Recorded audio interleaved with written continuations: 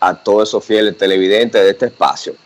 entrando rápido en, deportes, en el fútbol, los equipos ya de la OIM y el Cibao FC van rumbo allá a la ronda semifinal de la temporada de la Liga Dominicana de Fútbol, que ha sido todo un éxito eh, a casa llena con el protocolo que se está llevando en el fútbol, eh, muchas personas dándole apoyo a esta nueva liga de fútbol dominicano. En la Lidom, ayer el equipo de los gigantes del Cibao derrotaron 6 por 1 a las Estrellas Orientales en la pretemporada.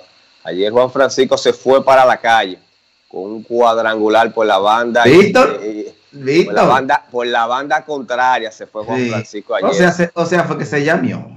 No, llamó, no, un palo. Y, ah, se pues la, por la banda, que la gente iba a decir que por Israel se iba a ir cada vez que bateara iba a sacarla por Israel. Pero ayer fue por la banda contraria.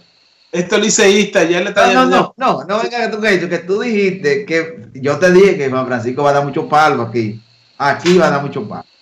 No, y esa alineación, esa alineación de zurdo, Carlos Peguero, ay, ay, los, lanzadores, oye, van a pasar trabajo. Los lanzadores van a tener eh, serios problemas. Hoy nos visitan las águilas cibaeñas. Van a pasar trabajo tres puntos. para, para, para continuar con lo que es esta pretemporada del equipo de los gigantes del Cibao. En, en la romana fue suspendido el encuentro entre los Tigres del Licey y los Toros. Eh, no, no, nada, lluvia, estaba lloviendo mucho. Sí, no, en la, romana. del suroeste eh, llovió ayer a Cántaro, la capital prácticamente sin inundó. Vi unas imágenes ahí de Tetelo Vargas, que el agua estaba, ya tú sabes, como dicen, hasta el cuello.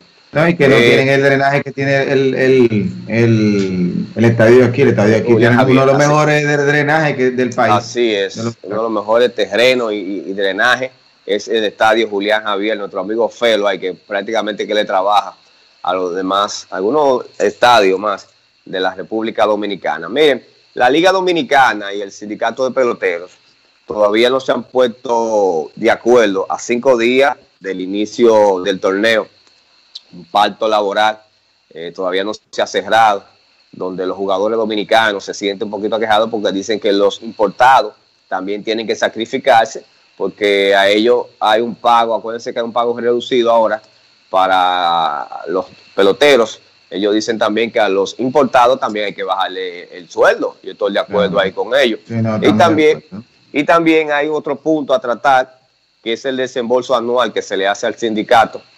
que creo que el sindicato está exigiendo un poquito más y los equipos todavía no están de acuerdo qué va a pasar. Pero vamos a esperar porque de no, de no llegar a un acuerdo hoy, diríamos que la pelota es difícil que inicie el, 15 de noviembre. Vamos a esperar que todo salga bien entre Eri Almonte y nuestro comisionado Vitelo Mejía para que se esté jugando el 15 béisbol aquí en la República Dominicana.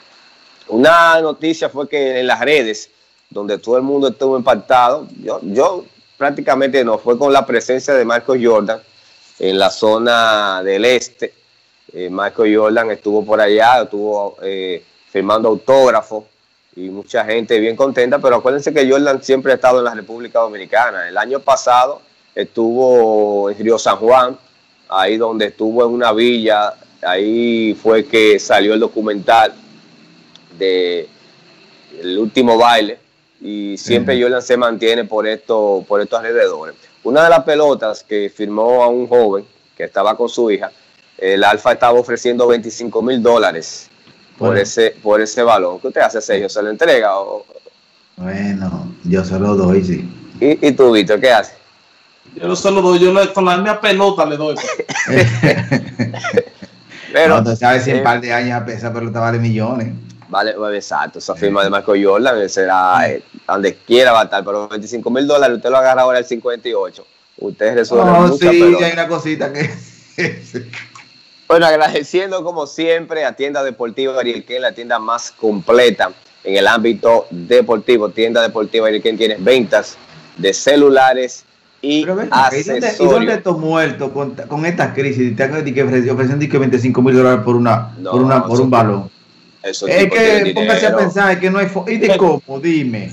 En serio, ese tipo se declaró como más de 700 millones. De, de Ay, mi madre, sí, ese rico de cuna.